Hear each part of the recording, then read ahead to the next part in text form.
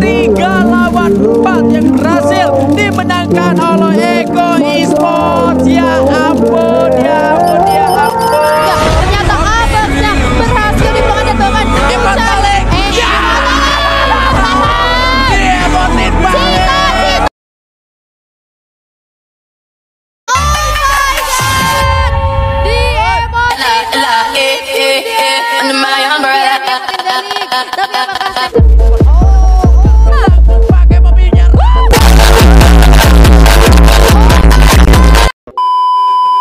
Bakal menantikan seperti apa di Purgatory akankah ada tabrak-tabrak lagi atau enggak karena kita akan segera lanjut Let's go! di Purgatory untuk round kita yang ketiga pemirsa di mana pun anda berada dan juga survivors kita akan segera menyaksikan pertempurannya sesaat lagi Jangan lupa untuk support tim favorit kalian di kolom komentar. Let's go! Yap, dan kali ini ternyata sudah ada yang turun dari tim EVOS Divine dan juga dua player dari tim Eko Esports ini turun Aduh. ke area Motos. Oh my god! Lu tahu kan kunci Ya, ya. dari tim EVOS Divine ini ada Sam 13 Mana senternya? Di area Motos dia selalu bisa sendiri kan? Dan justru Sam 13 kali ini mau diculik duluan dan EVOS Divine. Bener-bener kayak aduh. jadi turunnya itu susah banget karena kali ini Sam 13 sang kuncinya harus benar-benar divanis oleh tim Eko Oh Esports. my ya ampun. Diemotin balik bunda! Nggak langsung di end diemotin balik. Tapi apakah Sam 13 akan dibangunkan kembali? Kita masih belum tahu Tapi yang pasti dari Eko Esport di sini. Ini harusnya jadi informasi loh buat EVOS Esport, Ya. EVOS Defense ya Karena kalau misalnya kita lihat eh, Eko nggak melakukan looting tadi Sibuk ngemot Nah, nah gini pergerakan dari tim EVOS Divine ini udah terbaca sangat-sangat jelas oleh Ah, tim Eko Esports. yes. Sudah langsung diantisipasi. Tapi dengan eh, Sam 13-nya udah ngasih tahu kalau di area Motos ini ada tiga orang. Jelas otomatis anak-anak dari tim EVOS Divine udah tahu persis informasi yang berapa orang yang ada di area Motos. Betul, jadi harusnya sih teman-teman dari EVOS Divine sudah bisa mengantisipasi eh, adanya rotasi lanjutan dari teman-teman Eco Sports ya. Tapi kita lihat kali ini Sam 13-nya masih belum dibangunkan, mungkin min satu koin ya guys. min satu koin, jadi oh tapi enggak kayak ini mau coba tuh ke revival spot ya, gua rasa untuk menghu- menghudangkan Itu mah bahasa Sunda atuh Besti. membangun membangunkan membangunkan Sam 13 tentunya karena eh, Sam 13 ini selaku seorang kapten ya tentunya atau shot caller dari EVOS Divine sendiri gue rasa ini sangat-sangat dibutuhkan untuk decision making dari teman-teman EVOS Divine itu sendiri Iya, tapi masih ada planning yang sebetulnya bisa dilakukan oleh tim EVOS Divine Apa itu tuh, apa tuh? sendiri karena ini adalah area mod house. Otomatis ya gue yakin untuk anak-anak tim EVOS Divine ini udah hatam banget lah buat area mod house itu sendiri dari em, lootingan mereka, dari timing mereka ngeluting, gimana caranya mereka keluar, harusnya mereka udah hafal itu sendiri dan ini bisa jadi senjata untuk tim EVOS Divine supaya bisa nahan pergerakan dari tim Eko Esports yang harus keluar dari area mod Motas, sendiri. betul. Tapi kita lihat di Quarry atau Blue Zone saat ini di mana SAS Alpha Inc. Salah satu tim yang sangat-sangat konsisten dari dua hari ini eh, harus berhadapan dengan tim Onyx Olympus yang tadi baru mendapatkan buya. Hati-hati, jangan terlalu greedy atau overpick ya. Karena kita tahu SAS Alpha Inc. permainannya lagi sangat bagus banget. Jadi ya untuk Onyx Olympus harus sedikit lebih bersabar lagi, mungkin lebih respect lagi terhadap SAS Alpha Inc. Tapi kita juga kali ini dari Onyx Olympus melakukan split eh, split up ya, di mana eh, dari posisinya juga terbagi menjadi dua posisi atau pelebaran sayap di kiri dan juga kanan. Yang mana kali ini SAS Alpha Inc agak sedikit kebingungan. Mau coba untuk komit ke arah mana dulu tapi ternyata akan coba ke arah kiri ini kayaknya. Ya, ya, Thanos sudah mendengar suara step yang dilangkahkan oleh satu player dari tim Olympus Tayo. ini Benar-benar harus terpanis di hadapan seorang Jojo dan bahkan langsung dipulangkan ke arah lobby. Ini artinya satu orang gardu yang tadi sempat um, memilih untuk melakukan rush secara diam-diam ke arah pertahanan dari tim um, siapa Ses Alpha Ing-nya. Dia jadi bergerak harus mundur ternyata untuk mengamankan dirinya karena rekan-rekannya kali ini cukup jauh di arah belakang. Yes. Tapi kali ini gardu sudah mulai menaiki sebuah vehicle-nya dan sudah mulai ada tembakan juga dikeluarkan terus melarikan diri menuju ke arah belakang. Oke, terus melarikan diri ke arah belakang, tapi kita move dulu kali. Kita move on dulu ke arah teman-teman dari Aura Ignite dan juga RRQ Hide di mana di arah rumah air ya, ada RRQ Hide yang sudah dipantau terus menerus oleh teman-teman dari Aura Ignite. Salah satunya ada Amek dari arah Watchtower yang coba untuk mencari informasi lebih lanjut. Kira-kira RRQ Hide ini bakalan ke arah mana? Tapi kalau gue lihat nih, RRQ Hide coba untuk melakukan holding position karena mereka tahu mungkin dari segi resource masih sedikit kurang. Tapi tadi juga nih Amek ini face masih level 1 walaupun helmnya sudah cukup mumpuni. Tapi kalau misalnya ditembaknya kena badan mungkin terkikis habis juga nanti dari HP-nya. Iya ya, tapi kalau ngomongin soal rumah yang ada di sungai ini, gua jujur aja ya, apa ya, ini salah satu pertahanan yang cukup sulit sih menurut gua, apalagi kalau Wow. udah posisinya ada di posisi Amek. Ini Yap. Amek udah nggak bakal bisa ke mana-mana kalau dia turun pasang gluol, gluol kan bisa hancur ya, bisa dihancurin. Mm, betul. Ya, ya open juga kalau mau balik ke arah atas. Tapi kita uh, bakal mention dulu kalau sejauh ini Aura Ignite masih memimpin dengan 41 poin hanya berbeda dua poin saja dengan Ses Alpha Inc dengan total poin 39. Wow. Ini bahkan 41 cukup- loh. Iya, ini dua ronde lah. Cup baru dua ronde ini udah 41 dan kalau kita ngeliat Onyx Olympus dan juga EVOS-nya ini ada di angka 24 dan 20 dan kalau kita ngeliat Eko Esports baru gua ngeliat Eko-nya ada di posisi ke-7 dan baru dapetin 16 poin. baru ya mereka nggak top 5 ya Ah. baru hari ini mungkin ada sedikit pressure yang diberikan oleh beberapa tim dan kita lihat ada predator di round kedua yang tidak lain dan tidak mungkin eh, tidak lain dan tidak mungkin tidak lain dan tidak bukan ada Iya. Mr. 05 tadi kita lihat pertunjukan M79 yang sangat luar biasa jahanam banget ternyata ya dari seorang Mr. 05 dengan total damage-nya 2600 wow. Ya ya, sendirian sampai menuju ke arah late game dia mendapatkan 8 poin kill dari pelontarnya dari pergerakan yang dia buat. Berhasil membuat pertahanan dari tim lawannya juga sedikit lebih kocar kacir lagi. Tapi kali ini anak-anak dari tim Divine juga mereka nggak terlalu melakukan banyak move. Mereka tetap looting di area atas, mereka tetap konsisten di area drop zone dan juga rotasi mereka. Tapi justru um, mereka sedikit terganggu dengan pergerakan dari tim Esports dan sejauh ini untuk kill leadernya ini masih ada di EVOS uh, di Eko Esports. Oh, oh, dengan bisa 05. Koja. Oh. Berhasil merupakan satu orang dan bahkan langsung dipanis balik dipulangkan ke arah lobby Mister 5 bergerak mundur tapi kali ini Duknya berhasil ditembakkan juga oleh seorang jar dari Oh, tim Excel satu lagi. Kiba yang tersisa dari tim Eko Esports panik ya panik ya panik lawan sangat tapi kali ini Sendirian. Mister 05 cukup bersabar dan Koja Kiba. langsung pakai mobilnya rata Oh my god, yang terlihat jelas dari EVOS Beyond barusan ya. Eh, Dari Eko Esport ternyata harus puas di posisi ke-12 oleh EVOS Divine. Setelah percobaan di dua round sebelumnya ditabrak, akhirnya di round ketiga berhasil ditabrak sama EVOS di Divine. counter lagi Di counter lagi bosku. Tadi habis diemotin padahal di awal ya. Tapi Ya. kali ini dibalaskan dengan sangat manis ternyata oleh EVOS Divine. Tiga poin eliminasi. Satunya sayangnya tadi kenanya sama NXL, but it's okay ya. Iya, iya. Yang penting eh, dari EVOS Divine sudah mengoleksi tiga poin eliminasi. Bion. Udah yuk Bion yuk, yuk. Bion udah yuk. pasti teriak-teriak dia Udah. Sabar yuk Bion yuk, sabar. Ini Bion kalau mau track sini aja ngekes ganti Iya iya iya. Gue yang main. Soalnya Ekonya udah gak ada.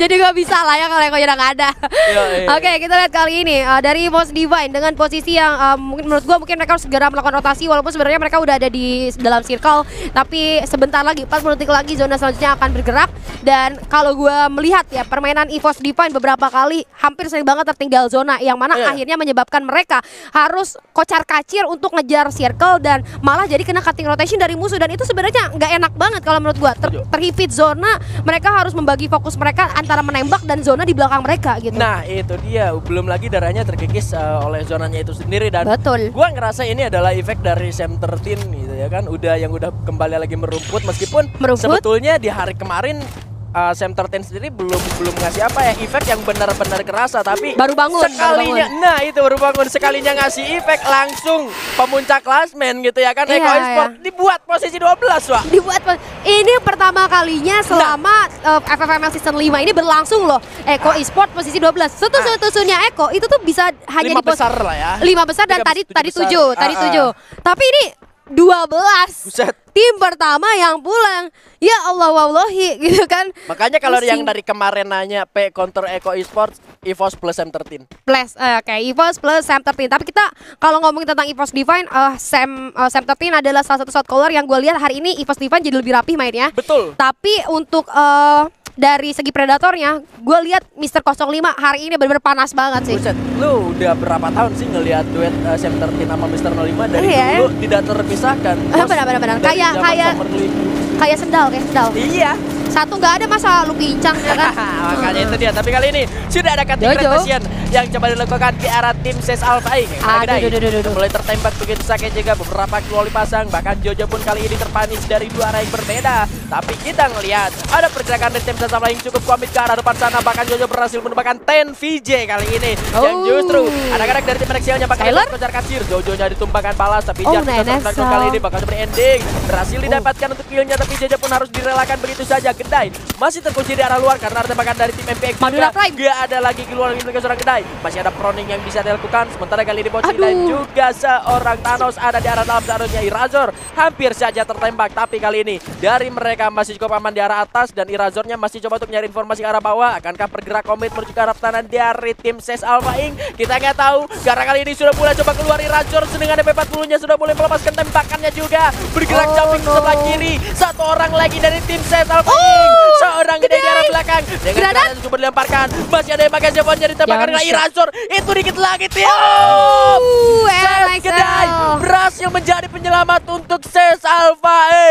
Menjadi penyelamat tentunya untuk SES Alpha Inc kali ini Gedai 23 Kenapa nggak 25 tapi nanggung 23 nggak apa-apa Gedai berhasil untuk menyelamatkan at least placement point untuk teman-teman dari SES Alpha Inc posisi 11 lah ya Ya. Dengan 5 poin eliminasi sudah dikantongi kali ini. Ya walaupun sebenarnya kalau untuk merevive agak sedikit sulit dengan circle sekecil ini ya. Tentunya Ya. ini udah masuk ke round ketiga juga. Eh sorry maksud gue zona ketiga juga.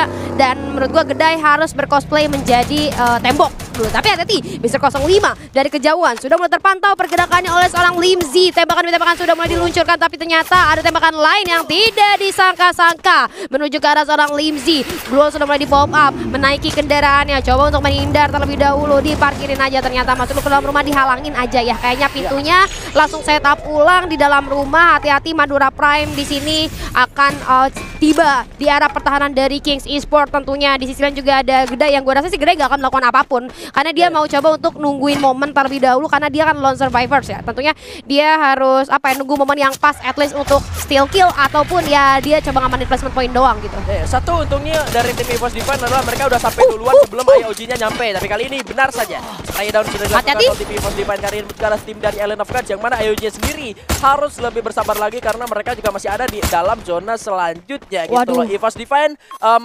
sebetulnya kompon yang mereka miliki adalah tujuan dari IOG kayaknya tapi kali ini pun Oh, ditumbangkan Gardu. oleh seorang Gardu dengan sangat terang kali ini berhasil mendapatkan satu poin eliminasi Gamon sudah melepaskan jam tiga karena seorang Gardu kali ini masih cukup tenang di arah dalam rumah Tayo tapi. Tendang non Gardunya sangat-sangat sekali sekali dua orang kubang dari tim Onyx Olympus. Masih ada dua orang tim Pietro terus juga kali ini. Baik itu juga tumbang.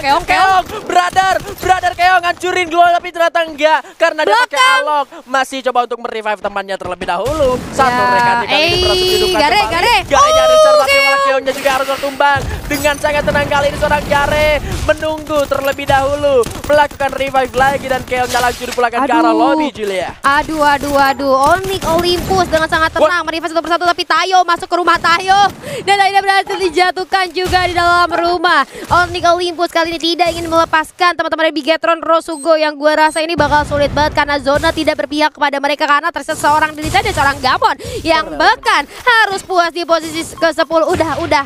Zia udah, udah, udah, udah, udah, udah hilang orangnya ya. Masih nafsu aja dia lempar-lempar tapi kasih apa yang terjadi? Apakah kamu membutuhkan kasih sayang dari ayang karena kamu terjatuh lagi dan lagi? Kita lihat dari seorang Joan harus menunggu pergerakan dari Danis yang sudah sangat dekat tentunya ke arah pertahanan dari RRQ Hiden dan sebentar lagi gua rasa Marisa dan juga Joan akan ter spot terkehadirannya bahkan Joan Astaga Naga. Langsung terjatuh begitu saja dan bahkan dipulangkan. Ke take down satu persatu. Terpick off satu persatu. RRQ Hide pun harus puas di posisi ke-9 Bigan. Dan di arah yang lain juga gue ngeliat ada tembakan yang sudah dilepaskan oleh Evos Divine ke arah Island of yang rupanya dari kedua tim Aduh. mulai komit untuk melakukan fight. Jafra ternyata tembakan dari Papa seorang Mr. Oliver Wah, kali Abax. ini Abaxi harus tertumbang juga. Jafra pun harus Oh, ditukar nice. nyawanya. Meskipun kali ini Abaxi tidak bisa diselamatkan tapi Epic Jauh banget. EVOS Divine juga berhasil mendapatkan satu poin eliminasi di Arhalin Oh, Aura Ignite. Ignite. Setelah berhasil mendapatkan dua match dengan poin maksimal, harus tumbang di posisi ke-8. Dan kali Wah. ini pergerakan dari Eh, di revive. Divine justru rupanya melakukan reviving dan masih bisa untuk diselamatkan seorang abad karena tidak ada poin ending. Oh, ah ke end. Nggak jadi. Enggak, enggak ke end. Aduh, ternyata berhasil ter-end yang tadinya mau coba untuk diselamatkan. Sebenarnya kalau kita ngomongin tentang grounding ya, dari EVOS Divine itu sebenarnya lebih unggul dalam segi circle ya. Iya, kalau iya. lu, lu bisa lihat karena mau nggak mau Ayoji ini harus turun ke bawah. Tapi EVOS Divine ternyata masih haus dengan kill dan Mister 05 berhasil ter-take down oleh seorang Bang menyisakan dua orang masih berhasil untuk di revive nampaknya. Harus melakukan medikasi. Ini dia duel maut antara Mister 05 dan juga Sam 13. Satu kill lagi berhasil diamankan oleh EVOS Divine. Tiga orang yang tersisa. Enam tim kali ini. IM Madura Prime coba untuk melakukan pertahanan di arah bawah. Namun motornya akan menjadi pilihan kali ini untuk melakukan satu rotasi membuka informasi Bigan. Yes, ada Kings Esports yang rupanya kali ini bakal menang mereka dari tim Kings itu sendiri dan kali ini Madura Prime yang bakal menjadi lawan untuk dari dari Aduh! Sampai kecelipat saya tadi dia mau main kitan malah rupanya ketembak. Bradel Gusti no Agung kah Ya Allah. riwe riwe riwe riwe tapi kali ini dari Madura Prime juga sangat sangat Oh, sulit nice. sudah dipanis oleh Kings Esports sejauh ini dan zonanya rupanya Oh. masih ada sedikit di pinggirannya si Gedai Gila, Gedai benar-benar berkamuflase jadi angin. Hanya bisa dirasakan kehadirannya tapi tidak terlihat gitu kan. kayak siapa gitu kayak ngeghosting ghosting gitu Iya, dirasakan benar-benar. kehadirannya tapi, tapi tidak terlihat, ada. ya tidak ada gitu. Gedai benar-benar dari tadi tidak melakukan pergerakan apa pun. Goib sih Karena oh, dan iya benar goib. tapi Dewi Fortuna masih ada di pihak seorang Gedai. Bahkan tanpa melakukan apa pun dia masuk ke zona yang lebih aman daripada musuh-musuhnya gitu kan. Yes, karena nggak ada yang di sana juga tapi pada akhirnya kali ini West Bandit sudah bergerak Uses. dan kali ini Sesalva yang berhasil tumbangkan oleh seorang Azriel dari Oh, arah belakang. Ayoji. Sulit sekali untuk Island of God dengan resource yang sudah sangat-sangat minim tapi kali ini kalau kita ngelihat pergerakan dari EVOS Divine dari arah belakang bisa saja mengancam setiap tim yang ada di arah depan. Wah, dari EVOS Divine kali ini kita lihat sebenarnya dari jalur rotasi mereka paling aman sih untuk masuk ke circle selanjutnya. Tapi ini open field dan Ayoji dari atas berjuang untuk masuk satu player dari Ayoji berhasil di take down begitu saja. EVOS Divine masih cukup tangguh ternyata Bigan. Empat yang harus didapatkan oleh tim Oh. Island of God di SD keempat tapi kali ini EVOS Divine memiliki banyak sekali asa memiliki banyak sekali kesempatan yang mana Mr. 05 berhasil merupakan bahkan dua orang ter down kali ini oleh Mr. 05 saja West Bandit rata Kings Esports yang menjadi lawan terakhir kali ini untuk EVOS Divine granatnya sudah dilemparkan tiga lawan tiga sejauh ini Bion dengan Granat, granatnya berhasil granat. mendapatkan kill ini ada lagi Cruel tapi Limji berhasil merupakan satu orang Bion masuk dengan match 10 nya Mr. 05 dari arah belakang Limji yang tersisa kali ini di arah depan sana disulitkan Bion berhasil untuk mendapatkan killnya. Sam 13 sulit diselamatkan karena udah gak ada gol lagi. Masih ada flash freeze dilemparkan. Ada Raf yang kali ini cukup bergerak sangat-sangat menyulitkan. Mr. 05 dari belakang gak ada medkit juga. Kayaknya kali ini Bion berhasil mendapatkan seruan slow head menjadi last man standing kali ini. Untuk Kings Esports akan seperti apakah pergerakannya? Sudah One sangat low. dan kali ini satu lawan dua yang tersisa dan Boya. Imos Dimos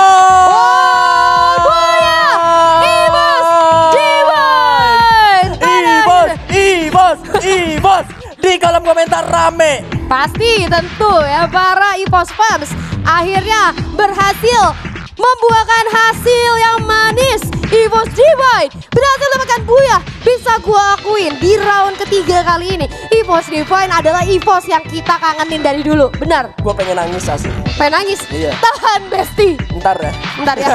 Ini abis ini kan kita bakalan break dulu deh. Nah, nanti kita nangis dulu kali ya bentar ya. Tapi memang ini yang diinginkan dari tim EVOS Divine itu sendiri. Dia berhasil ngepanis Eko Esportsnya di posisi ke-12 dan Uhuh. EVOSnya dapetin Buya. Gila itu sih benar-benar eh, apa ya kalau bisa dibilang pembalasan yang sangat menyakitkan. Menyakitkan sekali. Betul. Parah banget dan gue ngeliat juga si Pion ganteng banget sih. Ganteng sih Bion. Bion Bion lu mandi gak? Kayaknya enggak deh karena kalau misalnya nggak mandi biasanya wangi dia.